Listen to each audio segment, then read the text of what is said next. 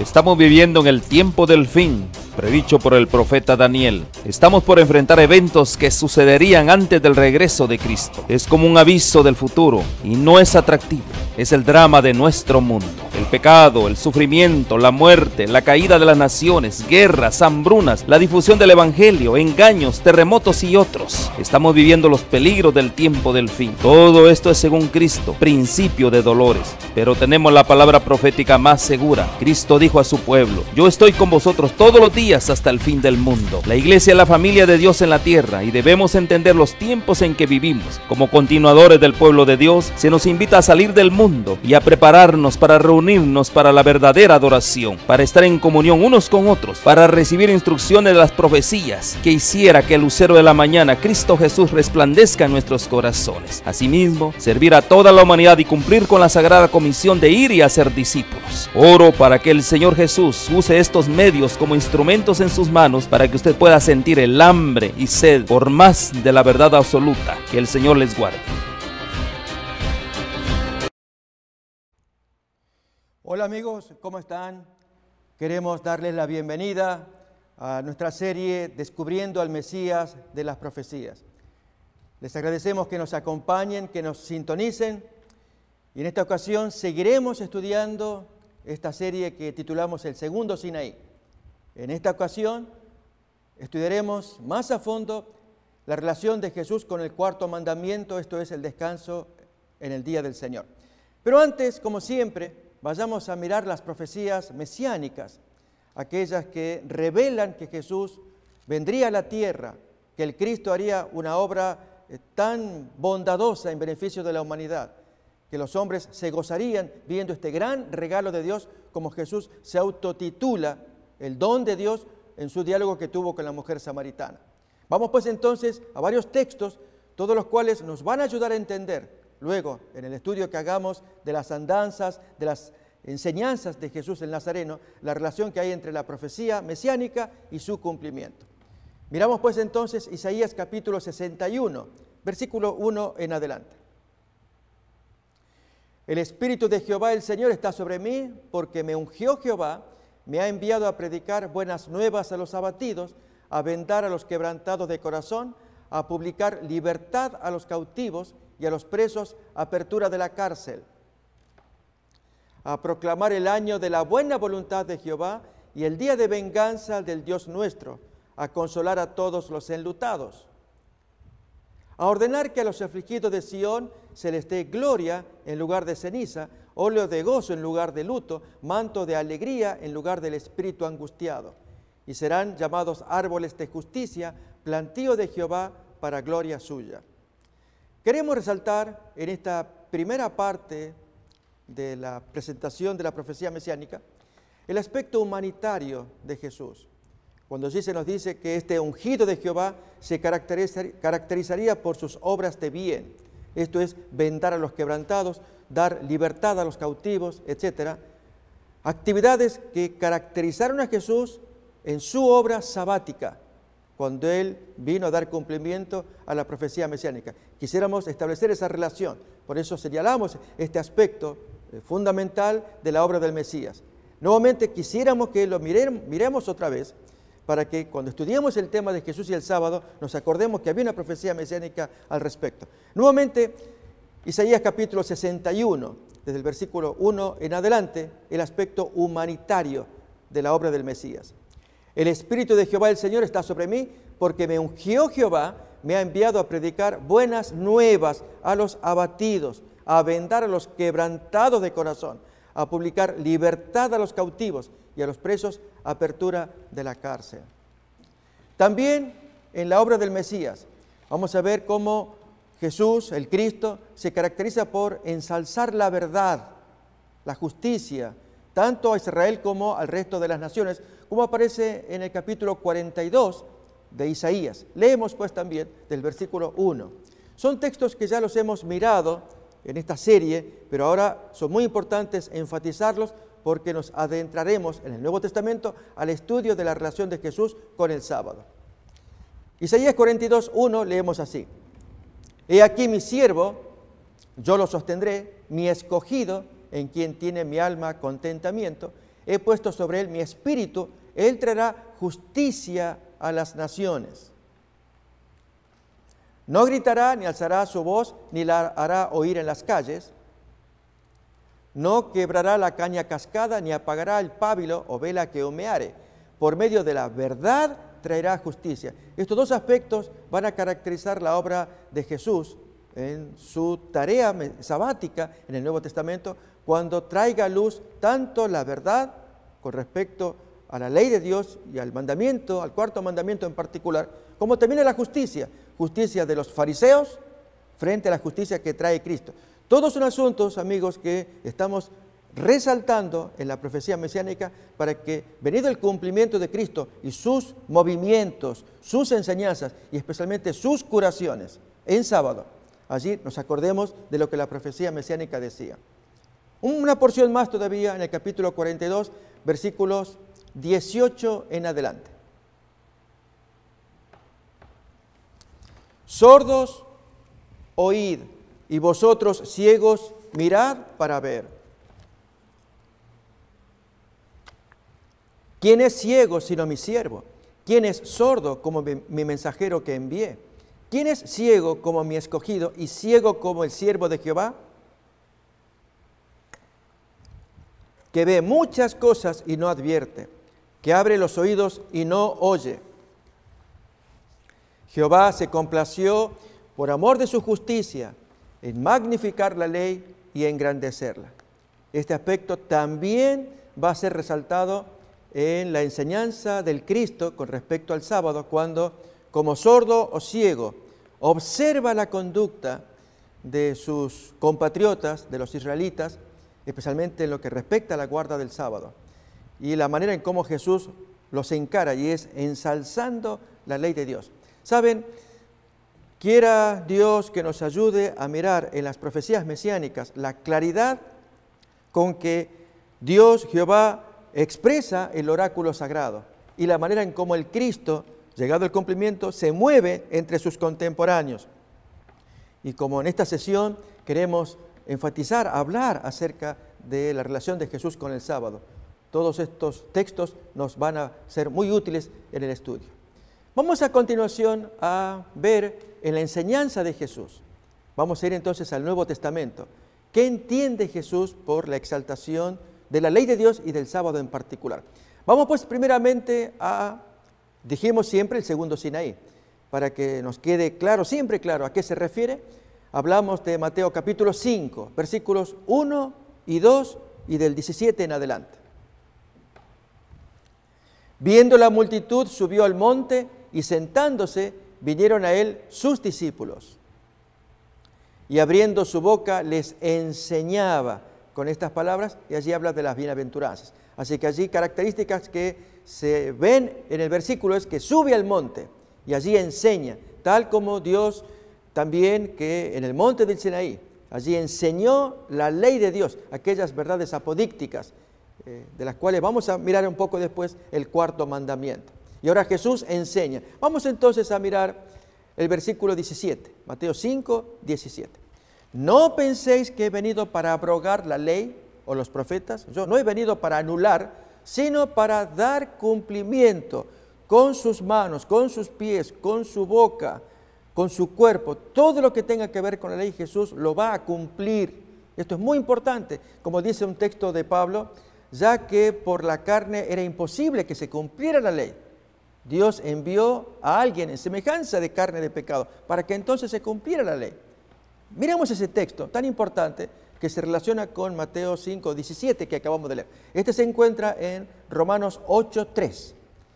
Esto es la imposibilidad de que el hombre pudiera cumplir la ley, las, exigencias de Dios. Pero vino alguien también como hombre y lo pudo hacer. Por eso Jesús dice, yo no he venido para anular, sino para dar cumplimiento. Leemos ahí, porque lo que era imposible para la ley, por cuanto era débil por la carne, Dios enviando a su Hijo en semejanza de carne de pecado y a causa del pecado, condenó al pecado en la carne, dándonos ahora una salida, siguiente versículo, para que la justicia de la ley se cumpliese en nosotros, que no andamos conforme a la carne, sino conforme al Espíritu.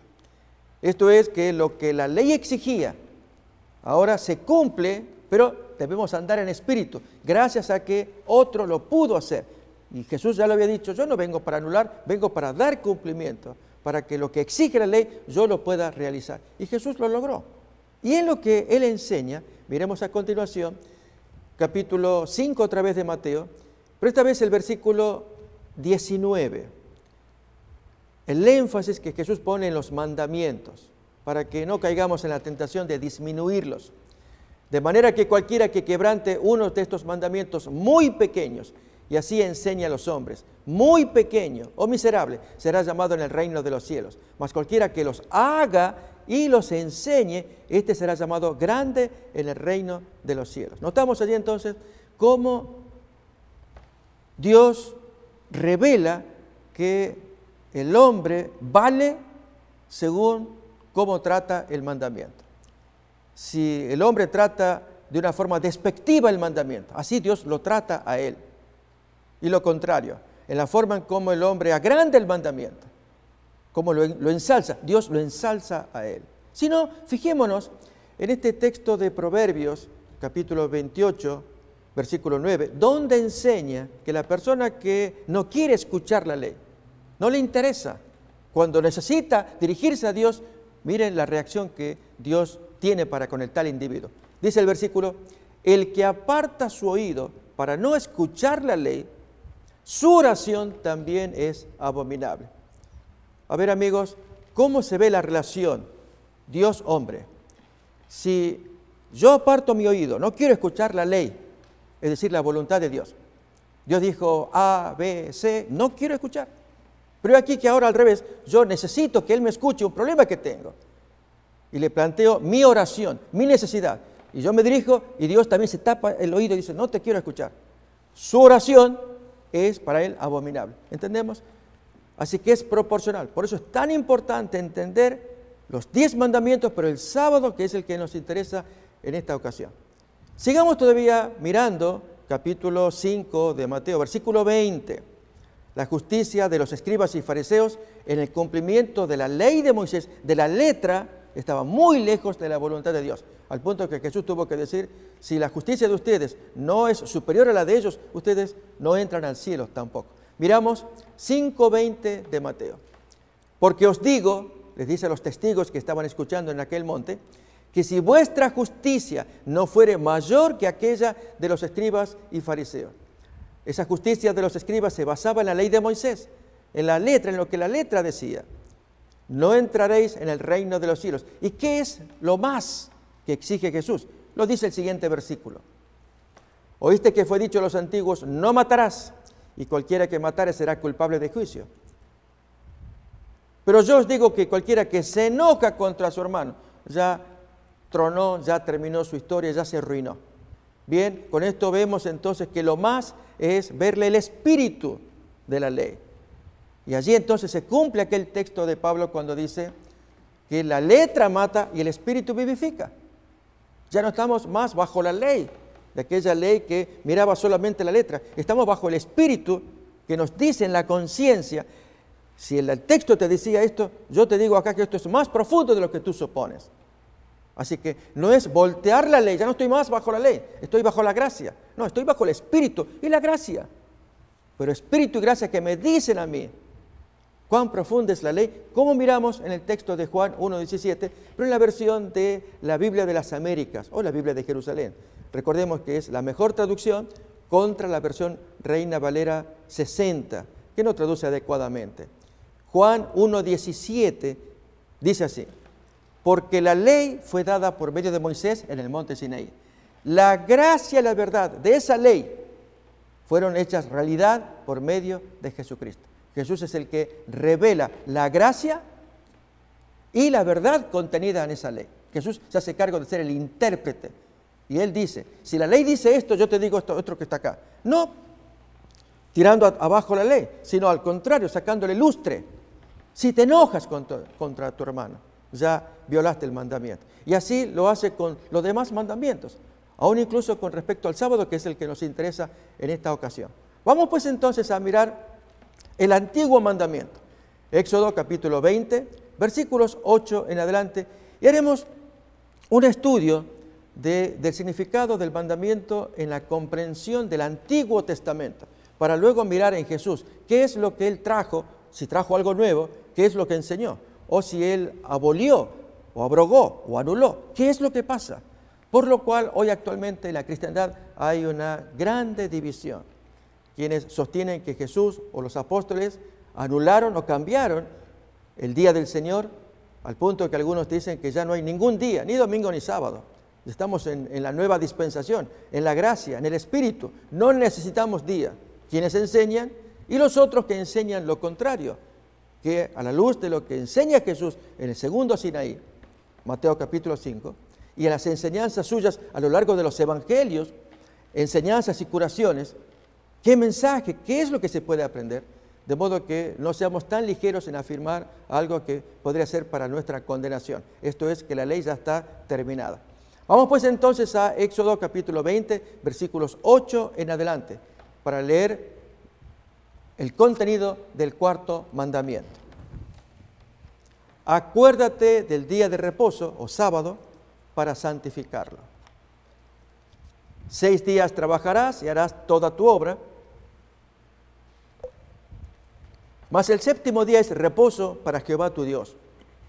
No hagas en él obra alguna, tú, ni tu hijo, ni tu hija, ni tu siervo, ni tu criada, ni tu bestia, ni tu extranjero que está dentro de tus puertas. Porque en seis días hizo Jehová los cielos y la tierra, el mar, y todas las cosas que en ellos hay. Y aquí hay tres verbos que vale la pena enfatizar. Y reposó en el séptimo día, por tanto Jehová bendijo el día de reposo y lo santificó. Esta es la esencia del cuarto mandamiento. Aún todavía vamos a completar la lectura del mandamiento con la siguiente o segunda edición del mandamiento. Esto es Deuteronomio, capítulo 5, cuando 40 años más tarde, terminada ya la, el, éxodo, la caminata de tantos años, casi al final, allí Moisés dirige la atención del pueblo a las leyes y les hace recordar los mandamientos del Señor. En Deuteronomio capítulo 5, allí Moisés repite el mandamiento con algunas eh, pequeñas modificaciones muy ricas e interesantes de conocer. Guardarás el día de reposo o sábado, acordémonos, para santificarlo, como Jehová tu Dios te ha mandado. 40 años atrás. Seis días trabajarás y harás toda tu obra. Mas el séptimo día es reposo a Jehová tu Dios. Ninguna obra harás tú, ni tu hijo, ni tu hija, ni tu siervo, ni tu sierva, ni tu buey, ni tu asno, ni ningún animal tuyo, ni el extranjero que está dentro de tus puertas, para que descanse tu siervo y tu sierva como tú. Acuérdate que fuiste siervo en tierra de Egipto y que Jehová tu Dios te sacó de allá con mano fuerte y brazo extendido. Por lo cual Jehová tu Dios te ha mandado que guardes el día de reposo. Si notamos acá, amigos, en los dos mandamientos se dan razones de por qué observar el sábado. Y las dos razones dadas allí, en uno y otro mandamiento, al complementarse, enriquecen el contenido. Mientras que en la versión de Éxodo se menciona la base y es la creación. Dios en la creación, Él reposó, bendijo el día y lo santificó. En la versión de Deuteronomio se usa otro argumento. Así como fuiste esclavo en Egipto, así ahora Dios te da un día de liberación para que tú te liberes y por lo tanto dejes libre en ese día al buey, al asno, al criado, al extranjero, tu siervo, tu, hijo, etcétera. Todos van a quedar libres para dedicar el día al Señor. Mientras que aquí la base en Éxodo 20 es la creación, aquí es la liberación de Egipto. Por lo tanto, este es un día sábado en que se va a recordar sábado a sábado la creación y aquí se va a recordar sábado a sábado la liberación, el rescate de Dios de su pueblo. Pero para esto vamos a irnos al original, esto es en Génesis capítulo 2, desde el versículo 1, cómo se origina el sábado y los tres verbos que nos interesan también. Fueron pues acabados los cielos y la tierra y todo el ejército de ellos. Y acabó Dios en el día séptimo la obra que hizo y reposó el día séptimo de toda la obra que hizo. Y bendijo Dios al día séptimo y lo santificó porque en él reposó de toda la obra que había hecho en la creación. Si notamos allí, están los tres verbos. Dice primeramente que reposó. Saben, eh, al pensar solamente breves comentarios acerca del significado de estos verbos, al decir el texto que Dios reposó, Dios necesita reposar. Estaba tan agotado, tan cansado con, la creación de tanta criatura que había hecho. No, porque el texto en Salmos nos va a decir que Él lo dijo y fue hecho. Por su palabra fueron constituidas las cosas. Él mandó y existió. No hacía falta mover ni los brazos. Entonces, ¿a qué se refiere con que Él reposó? Dios no se cansa, está más allá de nuestras limitaciones humanas. Pero usa la expresión reposó porque va a crear un modelo para que el hombre copie el modelo. Tal como Jesús con su bautismo. Jesús no necesitaba bautizarse, pero creó un modelo, su bautismo, para que sus seguidores continuaran tras él, imitando su conducta, imitando su bautismo. Dios pues, al reposar, él cesó sus labores con un propósito. ¿Cuál era el propósito? Si en seis días estuvo con su labor de crear las cosas, y especialmente en el sexto crea esta corona tan preciosa como es la pareja humana, junto con todos los animales vivos. En el séptimo día, al descansar, al cesar, ¿qué suponemos que haya pasado? Pues estar en comunión con sus hijos. El día sábado está hecho con ese propósito. Es que el hombre pueda apartarlo para buscar comunión, tal como Dios lo hizo aquel primer sábado, que pudo pasar tiempo con sus hijos recién creados. Así nosotros, cada vez que llega el sábado, reposamos para buscar comunión. Pero además de ello, en el sábado también hubo bendición. Miremos en Proverbios capítulo 10, 22, ¿qué significa que algo sea bendecido? La bendición de Jehová es la que enriquece y no añade tristeza con ella. Cuando Dios bendice algo, Dios enriquece. No hay tristeza tras ese enriquecimiento. Así también en la creación Dios bendijo al menos tres cosas. Bendijo algo en el quinto día, bendijo algo en el sexto día, bendijo algo en el séptimo día. ¿Qué fue? Vamos a ver en Génesis capítulo 1, versículo 20. Miramos allí en la creación de los animales, capítulos 1 eh, de Génesis, versículo 20, miremos esto. Dijo Dios, produzcan las aguas seres vivientes y aves que vuelen sobre la tierra en la abierta expansión de los cielos. Siguiente versículo. Y creó Dios los grandes monstruos marinos y todo ser viviente que se mueve, que las aguas produjeron según su género y toda ave alada según su especie, y vio Dios que era bueno. Seguimos leyendo todavía. Y Dios los bendijo, ahí tenemos, diciendo, fructificaos, fructificad y multiplicaos, llenad las aguas en los mares y multiplíquense las aves en la tierra. Es decir, estos animales que fueron creados en el quinto día, allí Dios los bendice. ¿Qué significa bendición? Miramos en Proverbios 10, 22, Dios enriquece, no hay tristeza, al decirles multiplíquense. Es decir, eh, en la bendición se avanza, se crece, uno multiplica gana, crece. Bien, ser bendecido por Dios es ser prosperado por el Señor. Y en el caso de los animales, Dios les da la bendición. Sean multitudes ustedes también. Esto ocurre en el quinto día. En el sexto día viene otra bendición. Vamos a ver también capítulo 1 de Génesis, el versículo 26.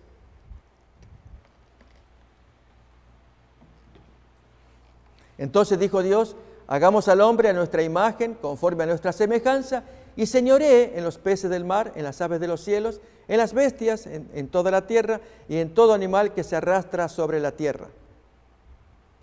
Y creó Dios al hombre a su imagen, a imagen de Dios lo creó, varón y hembra los creó. Y entonces la bendición. Y los bendijo Dios y les dijo, fructificad y multiplicaos, llenad la tierra y sojuzgadla. y señoread en los peces del mar, en las aves de los cielos y en todas las bestias. Notamos nuevamente, al igual que ocurrió con los animales en el quinto día, ahora ocurre con el hombre en el sexto día. Y es que Dios los bendice. Esto es, los ensancha, los hace crecer, los hace prosperar. Como dice el texto, Proverbios 10, 22, la bendición de Jehová es la que enriquece y no hay tristeza tras ella. Junto con esto, quinto día, bendecidos los animales, sexto día, bendecido el hombre, séptimo día, es bendecido un tiempo para que el animal, el hombre, en el tiempo obtengan su bendición. Vamos a Génesis capítulo 2, versículo 3. Ahora es el tiempo el que es bendecido, 24 horas. Y bendijo Dios al día séptimo y lo santificó porque en él reposó de toda la obra que había hecho en la creación. Ahora miremos en Deuteronomio capítulo 5 cómo esta serie se observa, la serie de la bendición, en el cuarto mandamiento. Allí se nota que los animales, el hombre, en el séptimo día obtienen el enriquecimiento que Dios se propuso desde la creación. Vamos pues entonces a la versión de los mandamientos que leímos ya de Deuteronomio capítulo 5. Mas el séptimo día, dice allí, es reposo a Jehová tu Dios. Ninguna obra harás tú, ni tu hijo, ni tu hija, ni tu siervo, va a hablar de seres humanos primeramente, ni tu sierva, ni tu buey, ahora toca el turno de los animales, ni tu asno, ni ningún animal tuyo, ni el extranjero que está dentro de tus puertas. Notemos aquí la comparación, para que descanse tu siervo, tu sierva, como descansas tú. No solamente el siervo o la sierva, hasta el animal, para que el animal descanse como tú. Amigos, ¿qué es lo que estamos escuchando acá? Permítame ilustrarlo. Eh, ¿Cuántas veces en la desigualdad que observamos en la vida social, allí patrones, empleados, abusivos eh, o empleados quejosos, rebeliones, sindicatos, gremios, etc. Altas profesiones, el arquitecto aquí que está en un alto cargo, el ingeniero y el simple peón allí abajo. E imaginemos que ambos son cristianos, observantes de la ley de Dios. Durante la semana puede haber las desigualdades. Es decir, eh, al ver a esta gente en la semana, allí disputándose, a veces tristemente, que ambos son cristianos y van a la misma iglesia. Allí el patrón que exige y aprieta, el empleado que está... En fin, situaciones a veces enojosas que pueden darse. Pero llegado el sábado está absolutamente prohibido hacer distinción, porque son todos parejos, ¿se entiende? Llega el sábado, el día del Señor, y ya entonces el empleado va a descansar como lo descansas tú. El animal va a descansar como descansas tú. Son todos iguales ante la ley en lo que respecta a la bendición. Decimos de otra manera. Así como en el quinto día Dios bendijo a los animales, en el sexto día bendijo a la pareja humana. En el séptimo día, tal como ocurre con un cheque, le damos el cheque en el quinto día, le damos el cheque en el sexto día, pero lo hacen efectivo inevitablemente en el séptimo día. No hay manera de escapar de la bendición, a menos que una persona sea perversa, mala, y que le niegue la bendición al animal o al ser humano en el séptimo día. ¿Entendemos? Dar bendiciones es enriquecer, así es la definición que da Proverbios 10, 22. Y Dios proveyó un día, 24 horas, para que los animales, ellos tengan su bendición, su descanso, su solaz su trato humanitario que el hombre tiene para con la bestia. Cuanto más el paria, el hombre, el siervo, el extranjero, que no tenía derechos. Durante la semana a veces había abusos, es típico de la naturaleza humana, del fuerte contra el pobre. Pero llegado el sábado, Dios castigaba la violación de ese mandamiento, ordenaba para que todos, animales y, y hombres, e incluso hombres en estado inferior, como los parias, los extranjeros, o los siervos o esclavos en sábado obtengan su bendición, so pena de ser castigados por Dios. Notamos, esto es lo que nos enseña la ley de Dios. Dios dio el mandamiento del sábado para que los hombres entiendan que Dios da bendiciones desde la creación. Con el ejemplo que Él dio, hace que el hombre siga su ejemplo. Pero miremos más todavía, quedaba el tercer verbo por examinar. Génesis capítulo 2, versículo 3.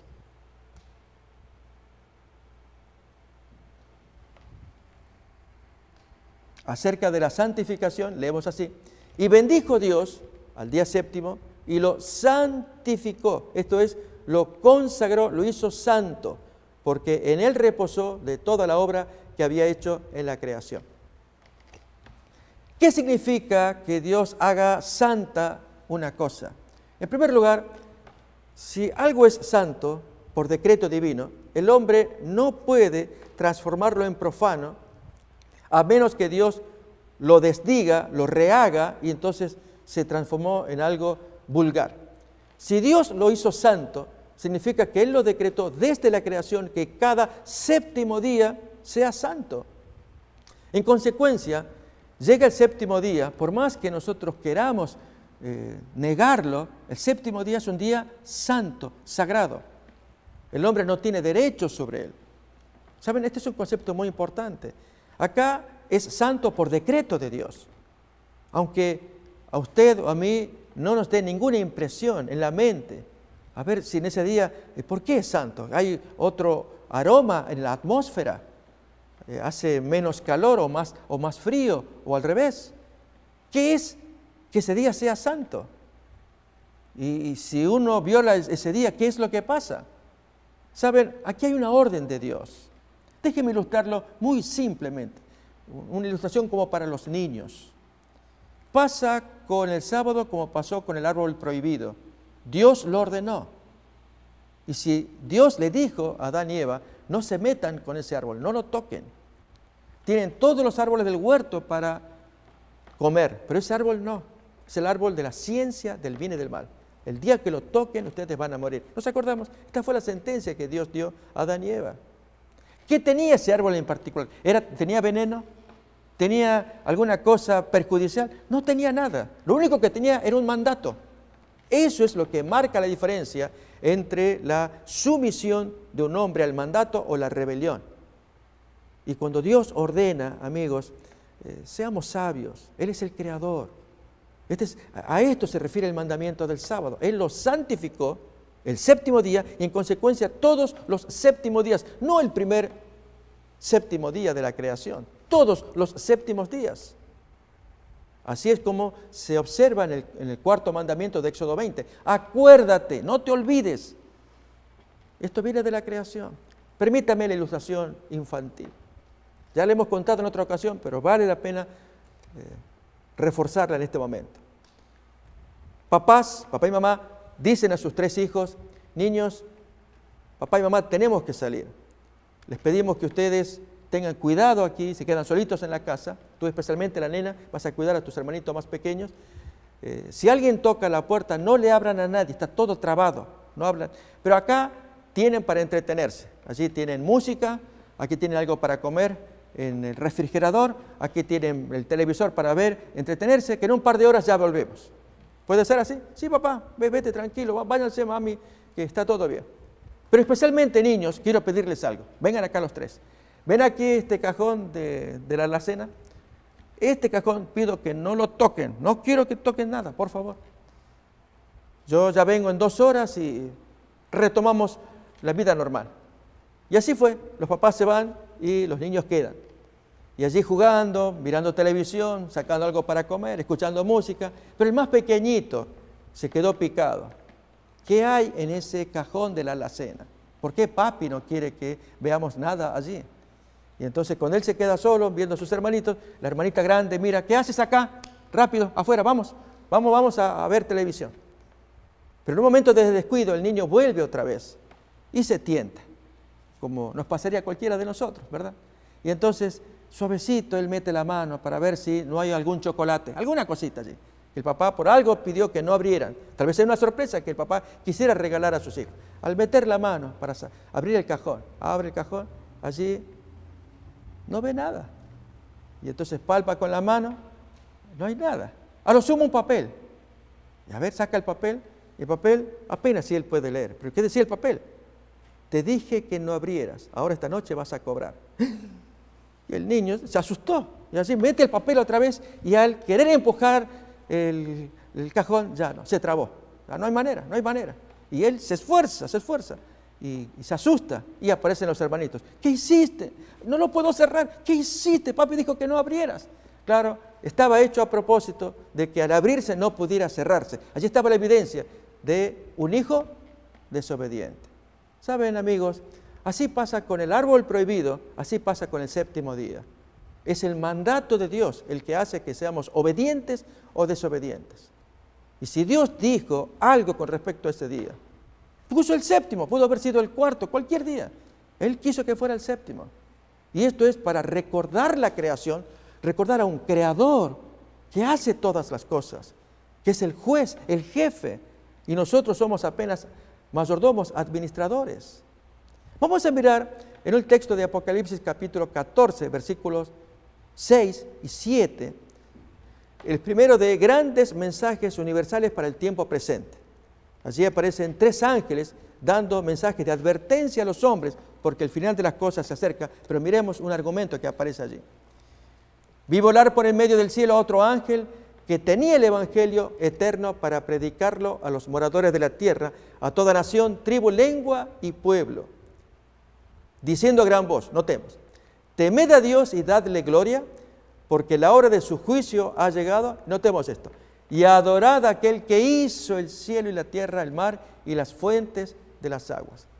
Al llegar la hora del juicio, allí el texto nos está diciendo, llega la hora del juicio, por lo tanto ustedes teman, tengan respeto al Señor, denle gloria, obedeciendo el mandato, pero búsquenle a aquel que es el creador, el adorador, el creador de todas las cosas, por lo cual somos nosotros sus adoradores. Adorad a aquel que hizo todas las cosas. Y el sábado se caracteriza, al separar ese séptimo día, se caracteriza porque recordamos la creación, recordamos al Creador, que Él fue el que hizo las cosas en seis días, que bendijo allí en el quinto y sexto día.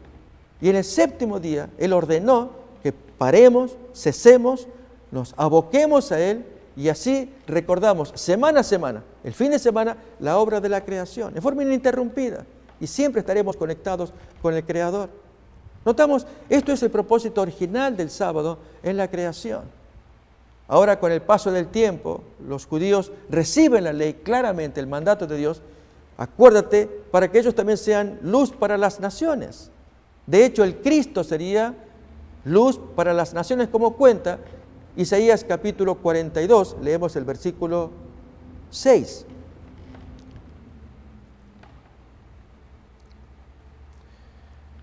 Yo Jehová te he llamado en justicia y te sostendré por la mano te guardaré y te pondré por pacto al pueblo. ¿Y qué es lo que dice ahora?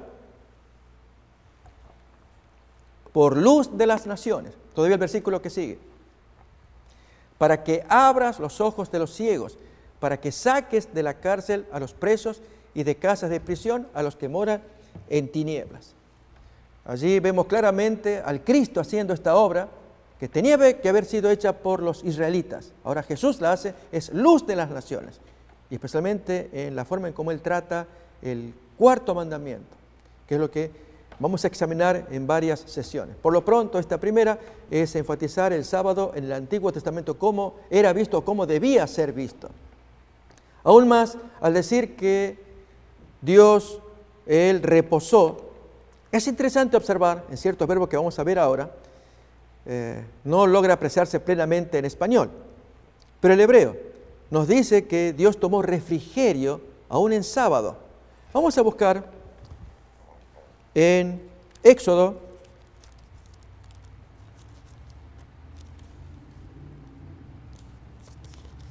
capítulo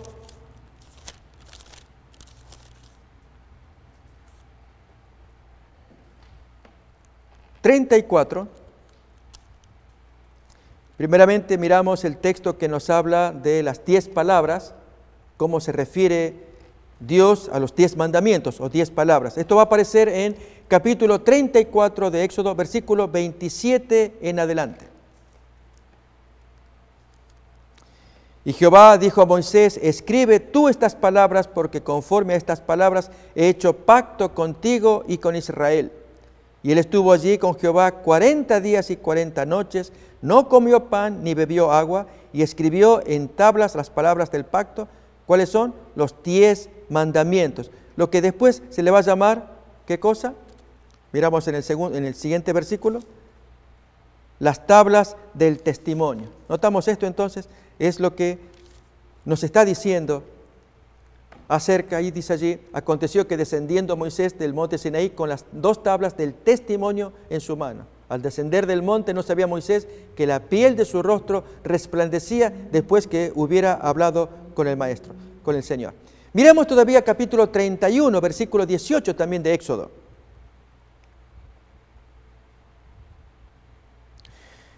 Y dio a Moisés, cuando acabó de hablar con él en el monte de Sinaí, dos tablas del testimonio, tablas de piedra escritas con el dedo de Dios. Y en el versículo anterior, allí entonces el verbo que nos interesa, lo del refrigerio, capítulo 31, 17. Señal es para siempre entre mí y los hijos de Israel, porque en seis días hizo Jehová los cielos y la tierra, y en el séptimo día cesó y tomó refrigerio. Esto es como que Dios hubiera, se hubiera cansado, pero no es así. Eh, Dios no se cansa, sino que toma reposo para que el hombre lo imite. Ahora bien, vamos a ver ahora en las palabras que vienen a Jesús, la actitud que Jesús tiene con respecto al sábado. Él entiende que el mandamiento es universal, fue dado a todos los hombres, no solamente a los judíos. Y al ser dado a los hombres, pide que el hombre lo cumpla y que aún Jesús va a ser el intérprete, el que va a explicar su verdadera función, su naturaleza, su alcance en contra de la postura de los fariseos. Vamos pues entonces a mirar Marcos capítulo 2, la enseñanza que Jesús tuvo con respecto al sábado en el acto que los discípulos tuvieron de arrancar espigas en sábado. Marcos capítulo 2,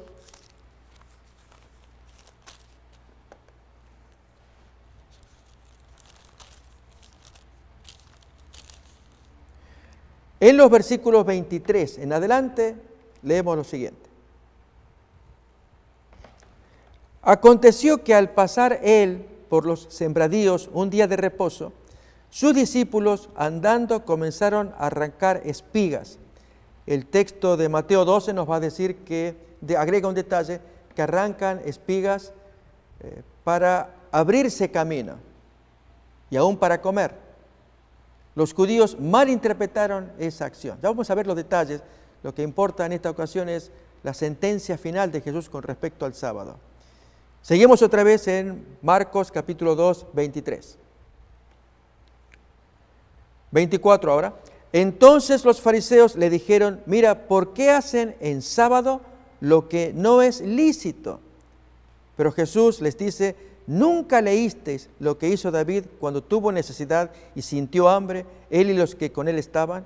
¿Cómo entró en la casa de Dios siendo Abiatar sumo sacerdote y comió los panes de la proposición, de los cuales no es lícito comer sino a los sacerdotes, y aún dio a los que con él estaban? Y aquí entonces la sentencia eh, que queremos analizar. También les dijo, el día de reposo o sábado fue hecho por causa del hombre y no al revés, no el hombre por causa del día de reposo. Por lo tanto, el Hijo del Hombre es Señor aún del día de reposo. Amigos, esta será la primera sentencia clara de Jesús de su relación con respecto al sábado. No solamente que indica la función, para qué fue hecho el sábado, sino además también establece la autoridad de interpretar ese día, cuando dice, el Hijo del Hombre es Señor del sábado. En primer lugar, al decir que quién fue hecho primero y para qué, el texto está diciendo que el sábado fue hecho para el hombre, por causa del hombre, al servicio del hombre, tal como diríamos de un criado que está hecho para que le sirva al hombre. Así fue. Cuando Dios creó la pareja humana, en el sexto día, creó algo adicional, que fue el sábado, para que le sirviera a la pareja. Leemos el texto otra vez. Marcos 2, 27. Es muy importante notar este detalle, que el sábado es un servidor, Y los judíos lo hicieron al revés. Ahora vamos a mirar. Les dijo también, el día sábado fue hecho por causa del hombre, para el hombre, pero el judío lo invirtió. Y no el hombre a causa del sábado, al punto de convertir, según la teología judía que vamos a mirar en las siguientes ediciones, eh, las prácticas judías con respecto al sábado. Convertían al hombre en un criado del sábado, o, mejor, el sábado como en un sargentón, un, capitán, eh, un tirano sobre el hombre. Esto es en las reglas que los judíos inventaron con respecto al sábado. Allí vamos a ver claramente que es algo que ellos crearon, haciendo del sábado exactamente lo opuesto al propósito original de Dios. Otra vez, el sábado fue hecho para servir al hombre, no al revés, que el hombre fue creado para servir al sábado en la percepción de los judíos. Cuando Jesús establece esta relación, su manera de ver las cosas, de enseñar, de curar, de moverse en sábado, que vamos a analizar las curaciones, son siete curaciones de Jesús en sábado, y lo que él dijo. Vamos a ver cosas sumamente eh, bellas e interesantes de que Jesús eh, ensalza el mandamiento, pero lo pone en su justa medida, que está hecho para servir al hombre. Fijémonos que Jesús no dijo que el sábado fue hecho para el judío, fue hecho para la raza humana, para Adán y Eva y toda la posteridad. Al punto que los mandamientos fueron dados en la conciencia. Alguien diría, pero no aparece mención del sábado entre los patriarcas. Este fue el argumento que caracterizó a los padres de la iglesia. En la antigüedad, aquellos llamados padres de la iglesia, se caracterizó San Justino, allí en su libro Diálogo con Trifón. Él abunda en un diálogo que tiene con un judío llamado Trifón, abunda en argumentos eh, en que él cree hacer valer la preeminencia del domingo contra el sábado y que el sábado fue creado, así en la percepción tan limitada e, y errónea de Justino Mártir, que fue creado como una señal de castigo por los pecados que los israelitas traían. Esto hizo de este hombre, murió en el año 165 después de Cristo como mártir, él fue uno de los primeros teólogos. Hubo otros más. Hay una carta llamada Pseudo Bernabé también que habla contra el sábado. Eh, estamos hablando de gente cristiana, entre ellos también San Ignacio Mártir, muerto por el año 111 de la era cristiana, poquito tiempo después del Apocalipsis. Son los, los primeros hombres que escriben contra el sábado y ellos abrieron camino hasta el día de hoy para que una hueste de pensadores cristianos, de filósofos cristianos, de autores cristianos, ellos tomaran una interpretación totalmente errada, limitada, eh, que va en contra del pensamiento bíblico que estamos escuchando, la exaltación de Dios en el Antiguo Testamento acerca del día sábado. En el caso que miramos de Jesús, si Jesús dice que el sábado fue hecho para el hombre, para que le sirva al hombre, y no como lo hicieron los judíos, que invirtieron los términos, ya nos vamos a, tal vez nos eh, miramos allí eh, el texto que nos están sugiriendo. Tenemos, ya hemos leído y ahí tenemos los tres principales textos muy bonitos del verbo eh, respirar o tomar refrigerio. ahí tenemos 31, 17 dijimos, junto con ello Éxodo 23, 23, 12 y también segundo de Samuel capítulo 16, 14. Son los tres únicos usos. Ya que tenemos el texto allí, que miramos, es tomar uno un refrigerio, Vamos a buscar Éxodo 23, 12, como otra vez Dios toma refrigerio, o reposó, traduce en español. Otras Biblias ponen toma refrigerio. Si Dios no necesitaba tomar refrigerio, como que se hubiera cansado. No, Dios da el ejemplo para que el hombre tome refrigerio. Miremos el texto entonces en Éxodo capítulo 23, 12, ahí lo tenemos. Seis días trabajarás y al séptimo día reposarás para que descanse tu buey y tu asno y tome refrigerio el hijo de tu sierva y el extranjero. ¿Notamos? Si ahí se traduce el mismo verbo, tome refrigerio, el hijo de la sierva, el extranjero, los animales, también de Dios se dice en Éxodo 31, 17. Miremos el texto otra vez allí, para que notemos que es un verbo muy, de muy poquito uso. Señales para siempre entre mí y los hijos de Israel, porque en seis días hizo Jehová los cielos y la tierra, y en el séptimo día cesó, ¿y qué más? Tomó refrigerio, tal como el texto de Éxodo capítulo 23, 12, allí, pero se aplica al hombre, aquí se aplica a Dios. Aún incluso en segundo de Samuel, Allí está el otro ejemplo en cuanto a David que también con sus amigos va a tomar refrigerio escapándose de Saúl, texto que vamos a mirar ahora, lo tenemos allí. Y el rey y todo el pueblo que con él estaba llegaron fatigados y tomaron refrigerio allí. Notamos que es un verbo que literalmente significa tomar refrigerio, pero al aplicarse a Dios, Dios no necesita cansarse, según Éxodo 31, 17, pero Él tomó refrigerio para darnos ejemplo a nosotros. Esto es que reposó, tomó refrigerio. Bien, en el caso de Jesús, retomamos Marcos capítulos 2, 27 al decir que el sábado fue hecho para el hombre, para el servicio, para que le ayude, le inspire al hombre, para que sienta allí en ese día que puede tomar refrigerio, descanso, solaz, compañía con el Padre. Y no al revés, los judíos hicieron exactamente lo contrario. Permítame quizás adelantar algunas cositas que miraremos con detalle en las siguientes emisiones de las prácticas de los judíos y el sábado. Cuando Jesús hizo curaciones en sábado, se escandalizaban los judíos porque Jesús hacía cosas, eran humanitarias, darles el refrigerio, darles la bendición, en fin, todo lo que eso implicaba el sábado. E incluso la, acción del Mesías de darles libertad, como va a contar Lucas 13, darles libertad a la que estaba eh, atada por Satanás con su curvatura, su espalda encorvada, el judío se molesta. ¿Por qué? Porque el sábado para ellos es exactamente lo opuesto, es diferente un día de ceremonias, eh, un día en que, entre algunas exageraciones, no se podía escupir en sábado, no se podía mirar un espejo en sábado, no se podía cargar cosa alguna en sábado, etcétera, etcétera, de la recarga que el judío había hecho en aquellos días. Amigos, esto nos muestra cómo el Señor quería, tal como dice el mandamiento, hacer que ese día sea para bendición y no lo contrario. Pero aún más, Todavía en Éxodo, eh, eh, Marcos capítulo 2, versículo 28, nos dice que Jesús es el Señor del sábado porque Él es el que tiene la autoridad de explicarlo, de aclararlo. Jesús, al enseñar sobre el sábado, se convierte efectivamente en lo que es el Señor, la autoridad sobre el sábado. Y así cuando le van a pedir explicaciones, ¿por qué hace la curación aquí o allá? Un caso muy importante que miraremos en la siguiente emisión de San Juan 5, 17 que miramos ahora.